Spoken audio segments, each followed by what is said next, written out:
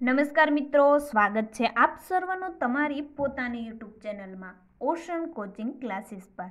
આજે આપણે ધોરણ નવના હિન્દી વિષયના પાઠ નંબર એક, જેની ગાલા સ્વાધ્ય પોથીનું સંપૂર્ણ સોલ્યુશન જોઈશું. તો ધોરણ નવના હિન્દી વિષયની ગાલા સ્વાધ્ય પોથી, ધોરણ નવના હિન્દી વિષયના ગ્રામર અને ધોરણ નવના હિન્દી વિષયના પાઠ્યપુસ્તકના બધા જ પાઠની સમજૂતીના વીડિયો અને પીડીએફની લિંક તમને નીચે ડિસ્ક્રિપ્શનમાં આપેલ છે. તો ચાલો આપણે શરૂ કરીએ ધોરણ નવના હિન્દી વિષયના.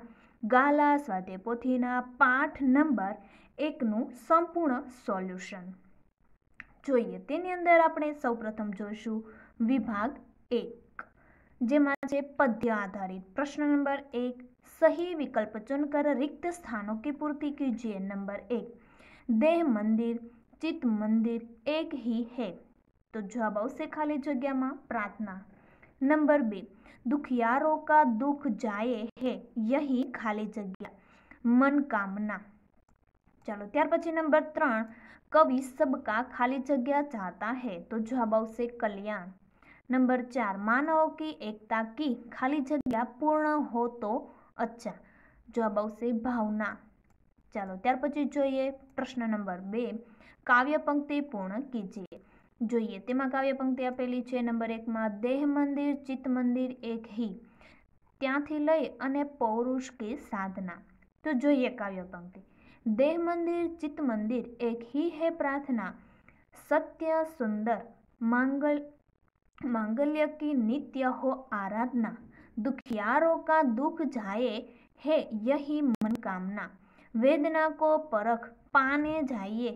संवेदना दुर्बलों के रक्षार्थ पौरुष की साधना ચાલો ત્યાર પછી જોઈએ નંબર બે તેની કાવ્ય પંક્તિ જોઈએ તો કે જીવન में नव तेज हो अंत रंग में भावना सुंदरता की आस हो मानवता की हो उपासना शौर्य पावे धैर्य पावे यही है अभ्यर्थना भेद सभी अस्त होवे बैर और वासना मानवों की एकता की पूर्ण हो कल्पना मुक्त हम चाहे है एक ही बंधुता की कामना ચાલો ત્યાર પછી જોઈએ પ્રશ્ન નંબર ત્રણ निम्नलिखित प्रश्नों के उत्तर एक एक वाक्य में लिखिए नंबर एक कवि नित्य कैसी आराधना चाहते हैं तो कवि नित्य ऐसी आराधना चाहते हैं जिसमें सत्य, सुंदर और मंगल्य की भावना हो।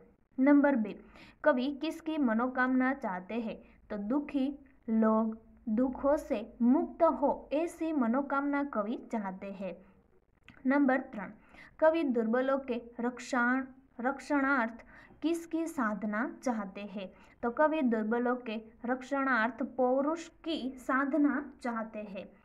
नंबर चार, कवि किसकी अभ्यर्थना करते हैं? तो कवि सबके जीवन में नया प्रकाश आने की अभ्यर्थना करते हैं। नंबर पाँच, कवि कैसी बंधुता की कामना करते हैं? तो कवि ऐसी बंधुता की कामना करते हैं, जिसमें सब स्वतंत्र होकर भी भाईचारे की भावना से जुड़े हो। चलो ત્યાર પછી जो है प्रश्न नंबर चार निम्नलिखित प्रश्नों के उत्तर दो तीन वाक्य में लिखिए नंबर एक कवि संवेदना क्यों जगाना चाहते हैं तो जब से संवेदना के बिना हमें दूसरों की वेदना का अनुभव नहीं हो सकता इसीलिए कवि संवेदना जगाना चाहते हैं नंबर बे मानवता की हो उपासना क्या कहा क्या अर्थ है तो जवाब से लोग एक दूसरे की पीड़ा समझते और उसे दूर करने का प्रयास करें। यही मानवता की उपासना है। प्रश्न नंबर पाँच। निम्नलिखित प्रश्नों के उत्तर पाँच छह वाक्यों में लिखिए। नंबर एक, कवि कैसे मांगल्य की आराधना करते हैं? तो जवाब से, मांगल्य अर्थात सबका कल्याण। कवि चाहते हैं कि सब लोग सत्य के मार्ग पर चले। सबके मन में सुंदर विचार आए और सब एक दूसरे के कल्याण की बात सोचे। इस तरह कवि सबके कल्याण की कामना करते हुए मांगल्य की आराधना करते हैं। नंबर बे, कवि के अनुसार किसके दुख दूर होने चाहिए? कवि के अनुसार लोगों के जीवन में तरह तरह के दुख है। इन दुखों से छुटकारा पाने का उन्हें कोई मार्ग नहीं सूझता। उन्हें दूसरों की सहानुभूति भी नहीं मिलती। वे स्वयं अपने दुखों से मुक्त नहीं हो सकते। ऐसे अपेक्षित और असहाय लोगों के दुख दूर होने चाहिए।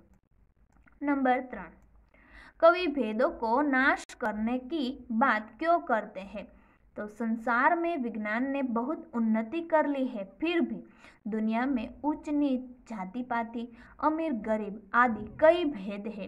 इन भेदों वालों भे, उन इन भेदभावों के कारण मानव समाज में ईर्ष्या द्वेष और संघर्ष है। इनके कारण मानव एकता में बाधाएँ आती है और हमारा विश्व बंधुत्व का सपना पूरा नहीं होता। इसीलिए कवि इन भेदों को नाश करने की बात करते हैं તો વિદ્યાર્થી મિત્રો તમારા માટે એક સરસ મજાની જાહેરાત છે જે તમારે પ્લે સ્ટોરમાં જઈ અને ડાઉનલોડ કરવાની છે આ એપ્લિકેશન ઓશન કોચિંગ ક્લાસીસ તો તેમાં તમને તમામ સોલ્યુશનની પીડીએફ મળી રહેશે જે ધોરણ ત્રણથી બારના બધા જ વિષયના સમજૂતીના સ્વાધ્યાય સ્વ અધ્યયન પોથી, ગાલા સ્વાધ્યાય પોથી, પ્રશ્ન બેંક, એકમ કસોટી અસાઇનમેન્ટ પ્રશ્નપત્ર અને બીજું ઘણું બધું. આ બધાની સોલ્યુશનની પીડીએફ તમને આ એપ્લિકેશન ઓશન કોચિંગ ક્લાસીસ પરથી તમને મળી રહેશે.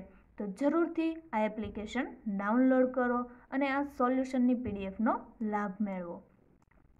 चलो त्यार अपने जो है विभाग बे व्याकरण आधारित प्रश्न नंबर एक निम्नलिखित शब्दों के विरोधी शब्द लिखिए नंबर एक मानव तो दानव सत्य तो असत्य मंगल तो अमंगल दुख तो सुख दुर्बल तो सबल सुंदर तो असुंदर अस्त तो उदय मुक्त तो बुद्ध एक तो अनेक रक्षक तो ભક્ષક ચાલો ત્યાર પછી જોઈએ પ્રશ્ન નંબર બે નિમ્નલિખિત શબ્દો કે પર્યાયવાચી શબ્દ લીખીએ નંબર એક માંગલ્ય મંગલકારી નંબર બે નિત્ય સદા નંબર ત્રણ અભ્યર્થના બિન્નતી નંબર ચાર વેદના તો વ્યથા નંબર પાંચ અસ્ત તો समाप्त प्रश्न नंबर त्रण निम्नलिखित प्रत्येक वाक्य में से भाववाचक संज्ञा पहचान कर लिखिए नंबर एक हमें सबके कल्याण की बात सोचनी चाहिए।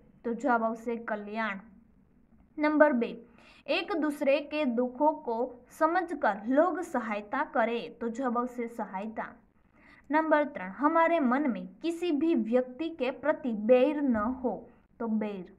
नंबर चार, कवि विश्व बंधुत्व की भावना सुंदर ढंग से व्यक्त करते हैं। सुंदर। नंबर पाँच स्वतंत्र भारतवासियों में एकता होना बहुत ज़रूरी है, एकता। चलो पी जो है प्रश्न नंबर चार, निम्नलिखित प्रत्येक वाक्य में से विशेषण पहचान कर लिखिए नंबर एक। देहाती युवक रास्ते से गुजर रहा था तो देहाती विशेषण। नंबर बी, पीड़ा का अनुभव तो बहादुर लोगों को भी करना पड़ता है तो तेमावशे बहादुर। नंबर त्रण मंदिर में श्रद्धावान भक्तों की भीड़ इकट्ठी हो गई तो श्रद्धावान। नंबर चार, आराधना करते हुए भक्तजनों ने लोगों के लिए मंगल कामनाएँ की तो मंगल। चलो, त्यार जो प्रश्न नंबर पाँच, निम्नलिखित प्रत्येक वाक्य में से कृतक वाचक संज्ञा पहचान कर लिखिए। नंबर एक, कवि सत्य, शिव और सुंदर के आराधक है, आराधक। नंबर बे, दुर्बलों के रक्षक साहस करने वाले लोग होते हैं, रक्षक। नंबर त्रण, हम चाहते हैं कि सब एक दूसरे के हितेशी हो तो हितेशी नंबर चार, हम सब मनुष्यता के पुजारी बने, तभी धरती पर स्वर्ग उतरेगा। तो जब से पुजारी प्रश्न नंबर छ निम्नलिखित शब्दों के उपसर्ग पहचान कर लिखिए नंबर एक प्रार्थना प्रवत्ता अर्थना नंबर बे दुर्बल तो दु વત્તા બલ નંબર ત્રણ અભ્યર્થના તો અભિવત્તા અર્થના નંબર ચાર સંવેદના તો સમ વત્તા વેદના નંબર પાંચ અનુભવ તો અનુવત્તા ભવ चलो प्रश्न नंबर सात निम्नलिखित शब्दों के प्रत्यय पहचान कर लिखिए नंबर एक માનવતા તો માનવ વત્તા તા નંબર બે, બંધુતા તો બંધુ વત્તા તા નંબર ત્રણ વિશ્વ બંધુત્વ તો વિશ્વ બંધુ વત્તા ત્વ નંબર ચાર, કમજોરી તો કમજોર વત્તા ઈ નંબર પાંચ, શૌર્ય તો શૂર વત્તા ય તો વિદ્યાર્થી મિત્રો, ફરી આપણે મળીશું ધોરણ નવના હિન્દી વિષયના ગાલા સાથે પોથીના પાઠ નંબર બેના સંપૂર્ણ સોલ્યુશન સાથે. તો વિદ્યાર્થી મિત્રો, ધોરણ નવના હિન્દી વિષયના જે ગાલા સાથે પોથીના પાઠ નંબર એકનું સોલ્યુશન આપણે જોયું. તેનો વીડિયો તમે તમારા મિત્રો, દોસ્તોને જરૂરથી શેર કરજો, જેથી તે લોકોને પણ આ ગાલા સ્વાધ્યાય પોથીનો લાભ લઈ શકે.